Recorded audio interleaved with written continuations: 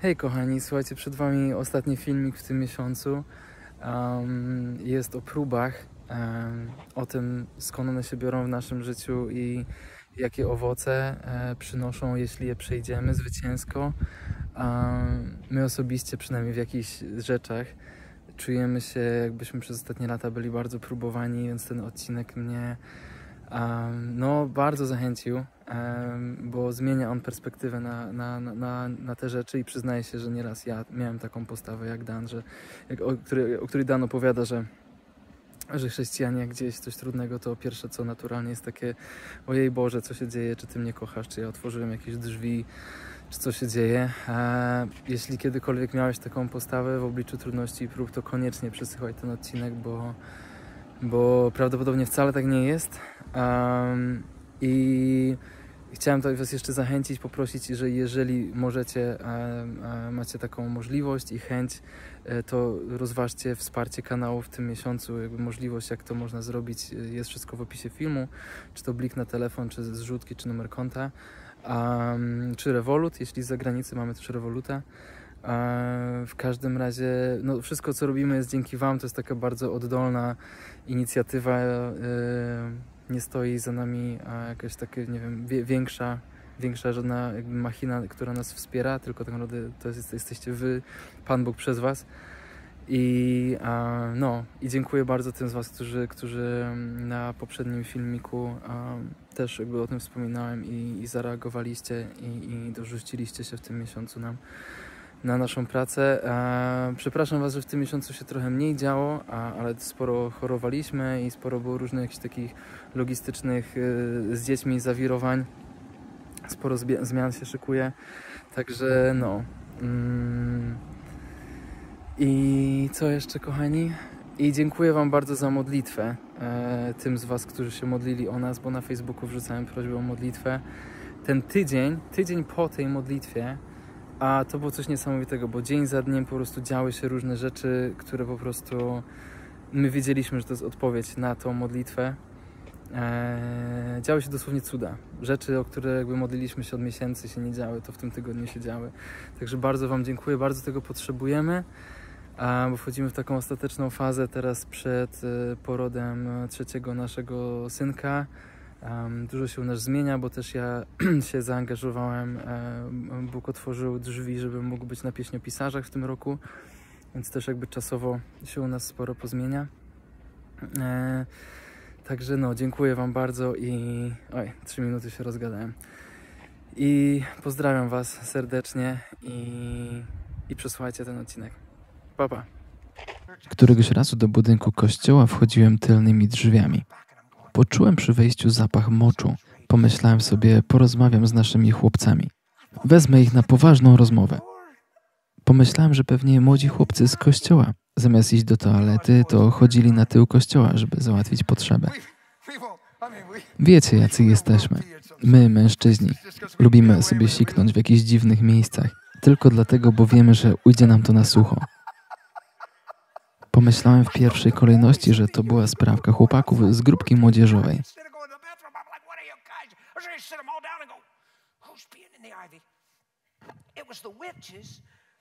Okazało się, że była to sprawka czarownic.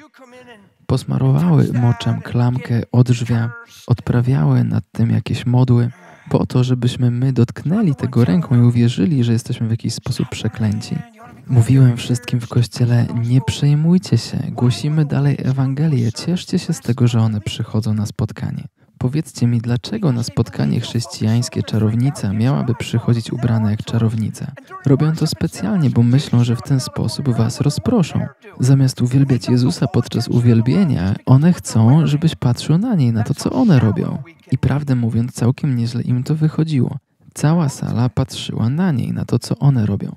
Tak płytcy potrafimy być. Po czasie zrobiło się naprawdę poważnie, bo przyszedł do mnie demon i trzykrotnie próbował mnie zabić.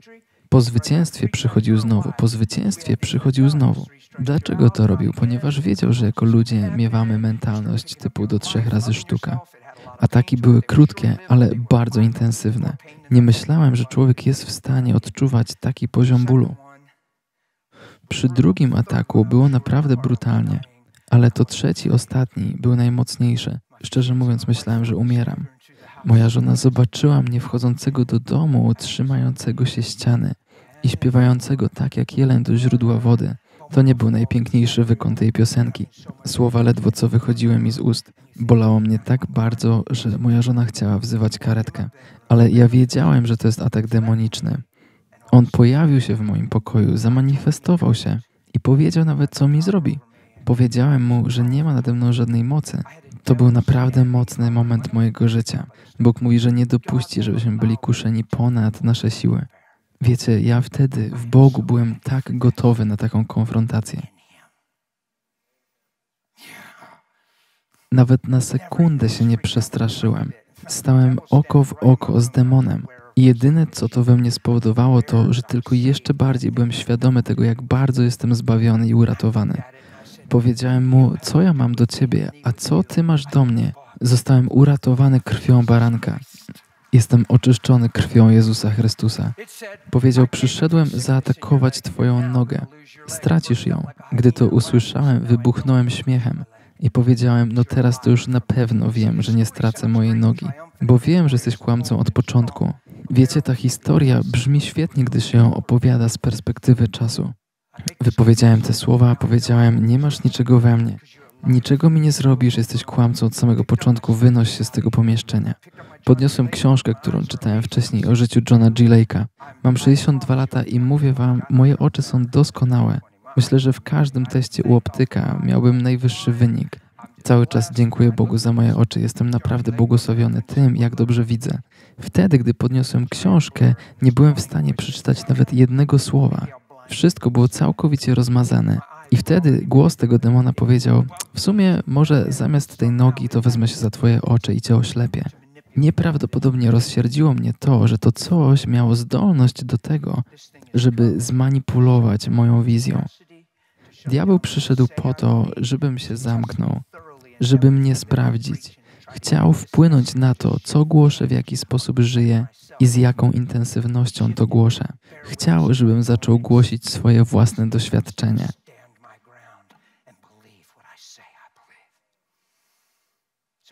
Gdy diabeł przychodzi do Twojego życia i atakuje Cię w tak ostry, bezpośredni sposób, robi to, ponieważ ma nadzieję, że może Cię złamać. Pamiętacie, co było napisane w księdze Joba?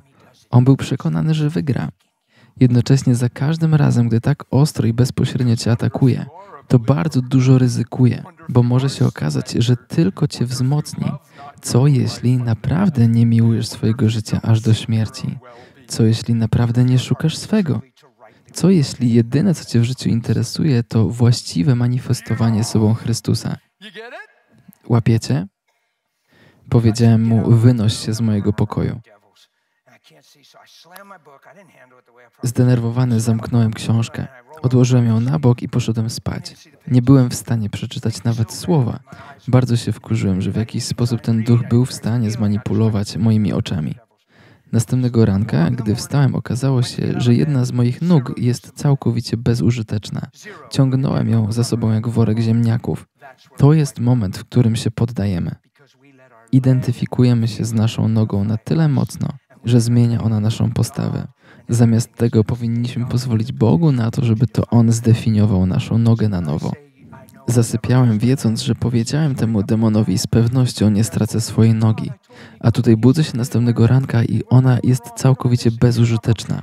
To, co robimy w tym momencie, jest naprawdę istotne i kluczowe. Bardzo często jest tak, że w takiej sytuacji mówimy: Boże, czemu mnie nie chronisz? Przecież nakazałem temu demonowi się wynosić. Wydaje nam się, że przegrywamy tylko dlatego, ponieważ przyszła trudność i próba do naszego życia. A próba nie przyszła po to, żeby pozbawić mnie nogi, tylko po to, żeby wyrwać prawdę z mojego serca. Używa mojej nogi do tego, żeby w jakiś sposób dobrać się do mnie. Jeśli w tym momencie stwierdzimy, że to nam czegoś brakuje, że to z nami jest coś nie tak, to już jesteśmy rozbici. Dzięki Bogu, dzięki Jego łasce, w tym wczesnym okresie mojego życia z Nim, ja rozumiałem, co się dzieje. Usiadłem na łóżku, zacząłem się śmiać i powiedziałem: Ty chyba sobie kpisz ze mnie. Dosłownie zacząłem się śmiać, a potem uwielbiałem Boga. To był poranek taki jak każdy inny. Mówiłem mu, że go kocham, że dziękuję za jego sprawiedliwość w moim życiu i tak dalej, i tak dalej. Historia jest długa. Ostatecznie zostałem uwolniony po 10 dniach. Mimo tego, że moja noga była całkowicie bezużyteczna przez 10 dni, 11 dnia to po prostu nagle odeszło w jednej sekundzie, w jednej chwili. Tańczyłem, krzyczałem, uwielbiałem Boga, cieszyłem się. Coś nagle pękło i w jednej sekundzie moja noga wróciła do normalnego stanu. Nie chciałem tego dnia iść do kościoła, bo myślałem sobie, że wszyscy będą się o mnie modlić, wylewać na mnie tony oleju. Nie miałem na to jakoś specjalnie ochoty. Ale Duch Święty powiedział mi, idziesz do kościoła. A ja na to, naprawdę? No dobra, to idę. Wziąłem kluczyki od samochodu i gdy tylko to zrobiłem, czułem, jak ogień Bożej obecności przeszywa mnie i jak jakieś niewidzialne łańcuchy jeden za drugim pękają. Postradałem zmysły z radości. Biegałem po chacie w tej i we w te. Nawet sobie nie wyobrażacie, jak to wyglądało. Jestem bardzo spokojny wobec Was. Uwierzcie mi, że to było naprawdę dzikie. Gdy jestem tutaj, to wiem, że muszę być w stanie się z Wami jakoś komunikować, ale gdy jestem sam na sam z Bogiem, to zamieniam się w dzikie Boże stworzenie. Tego samego wieczoru jeszcze była ostatnia próba. Demon chwycił mnie za ramię i dosłownie próbował mnie zabić. Jezus zainterweniował wtedy. To jest naprawdę świetna historia. Na koniec wszystkiego, a nie jestem osobą, która cały czas widzi jakieś wizje, otworzyły mi się w oczy w duchu i widziałem, jak ta czysta, krystaliczna woda, lecąca z nieba, z jakiegoś wodospadu, spływa na mnie, na moją głowę. Bóg dotykał mnie w tym momencie. Po dłuższej chwili tego doświadczenia czułem się tak, jak gdybym nigdy nie przeszedł żadnej trudnej sytuacji w swoim życiu. Ledwo co trzykrotnie atakowały mnie demony, ale gdy wylewał się na mnie ten czysty wodospad Bożej mocy i miłości, czułem się tak przewspaniale, jak gdyby nic złego się przed chwilą nie wydarzyło. Bardzo chciałbym mieć nagranie z tego, co wyszło wtedy z moich ust w ciągu następnych pięciu czy siedmiu minut po tym doświadczeniu. Ogłaszałem chwałę Bożą w taki sposób i z takim namaszczeniem jak nigdy w życiu. Pan powiedział mi, że mam pobłogosławić swoją rodzinę. Zacząłem zbliżać się do swojej żony, a jej ciało nie było w stanie tego wytrzymać. Zbliżałem się do niej, a jej ciało rozpływało się na ziemi jak mydło. Powiedziałem w końcu panu: Musisz trochę przestać, bo muszę położyć rękę na jej głowie. Gdy tylko to zrobiłem, odcięło ją jeszcze bardziej i po prostu leżała na podłodze.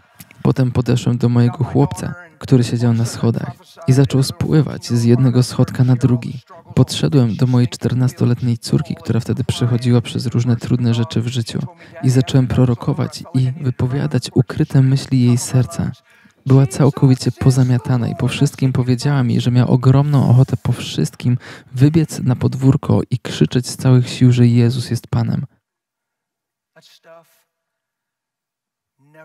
Już nigdy więcej w życiu nie zostałem dotknięty przez tego typu demoniczny atak.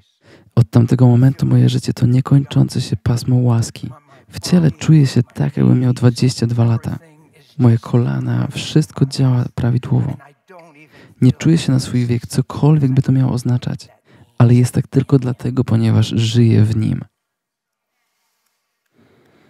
Ale jedno wiem, przeszedłem w swoim życiu kilka prób. W tym okresie, w którym wlokłem za sobą nogę, niczym worek ziemniaków, przychodzili do mnie pastorzy, liderzy, którzy mnie kochali.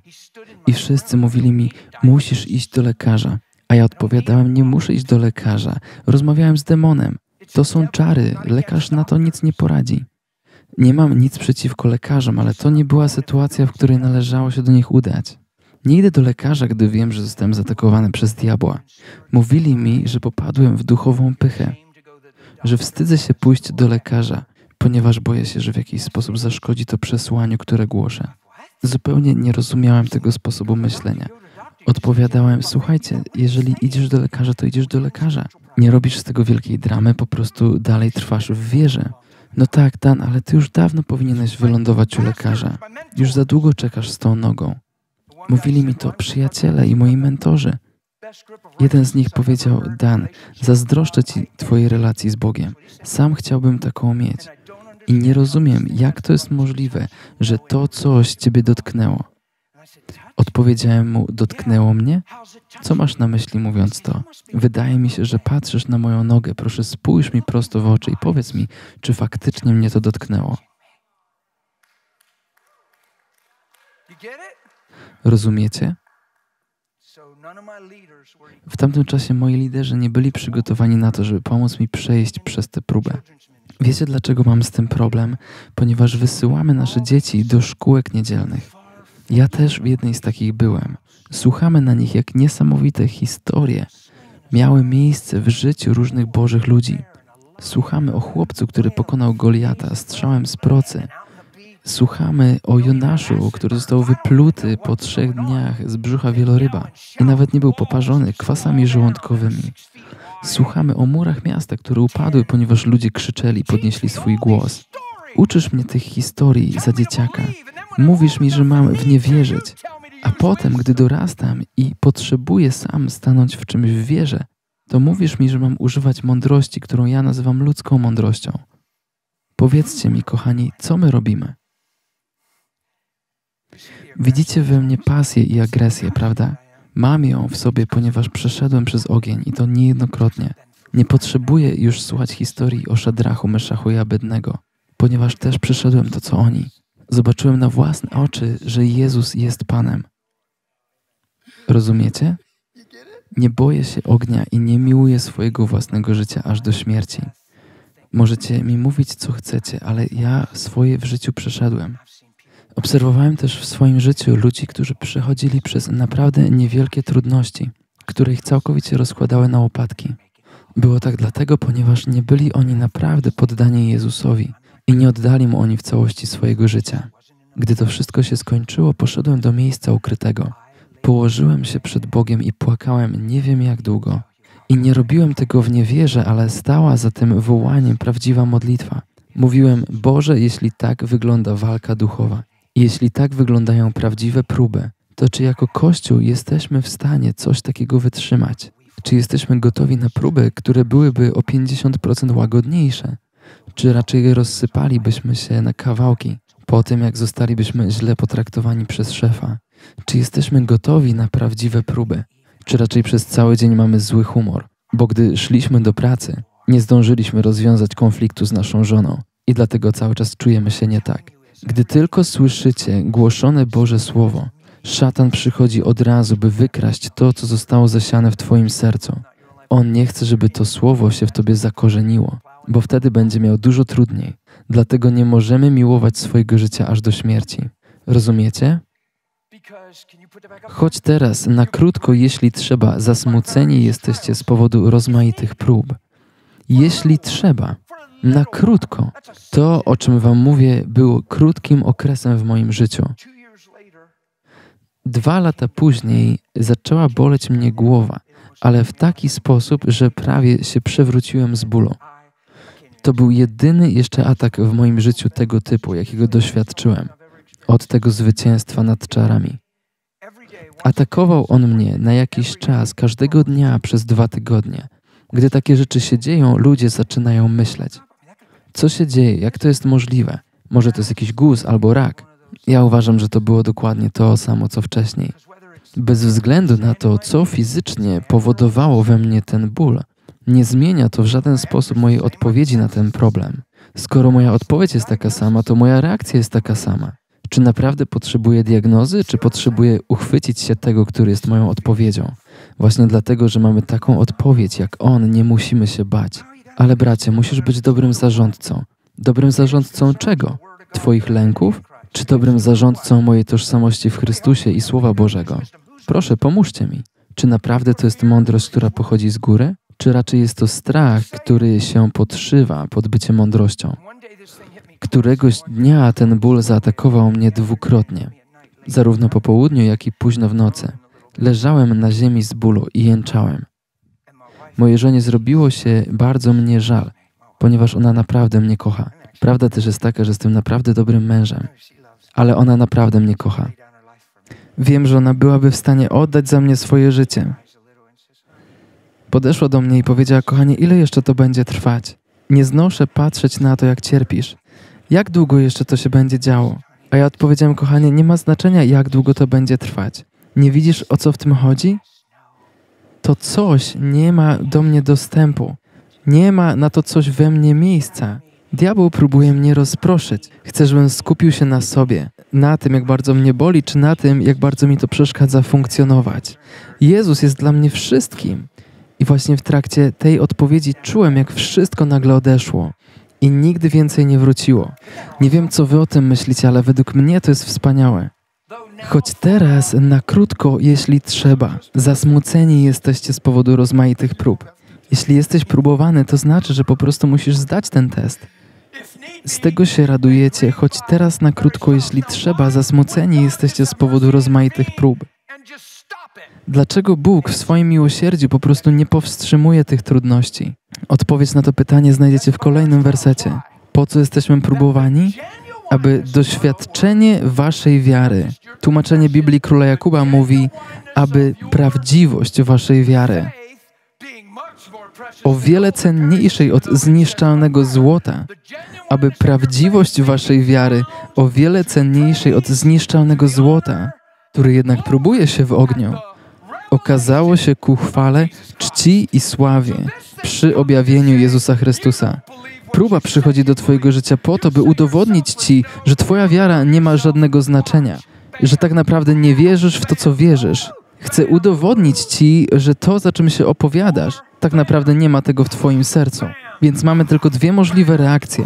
Gdy uderza nas przeciwnik, albo zaczynamy krzyczeć i płakać, albo podnosimy ręce do góry i zaczynamy uwielbiać Jezusa. A choć go nie widzieliście, miłujecie go.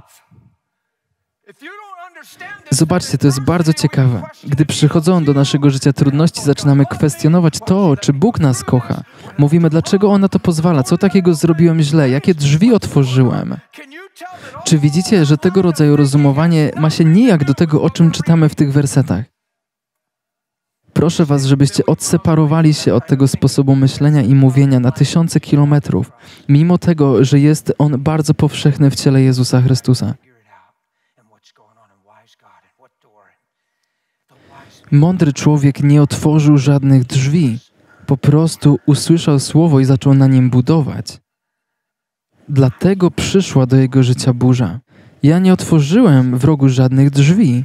Po prostu zostały wysłane przeciwko mnie czarownice po to, żeby mnie zaatakować. Diabeł chciał, żebym się ugiął i żebym zmienił to, co mówię i to, co głoszę. A prawda jest taka, że dzięki temu, co się stało i dzięki temu atakowi i dzięki temu zwycięstwu, jestem dzisiaj dużo bardziej rozpalony niż byłem wtedy. Rozumiecie? Powiedzcie mi, czy wygląda wam na kogoś, kto ustaje w czynieniu dobra, który zmęczył się tymi wszystkimi dobrymi uczynkami? Nie zamieniłbym tych prób na nic, ponieważ wiem, co te próby i zwycięstwa we mnie zrodziły.